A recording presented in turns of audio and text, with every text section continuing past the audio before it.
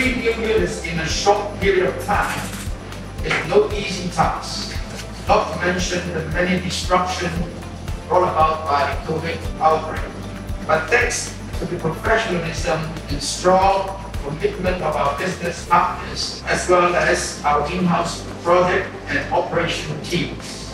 Without your effort and support, we will not be here today to celebrate the synchronization of Lamma Unit L11.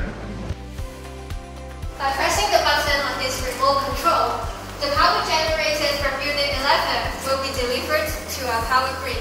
Please press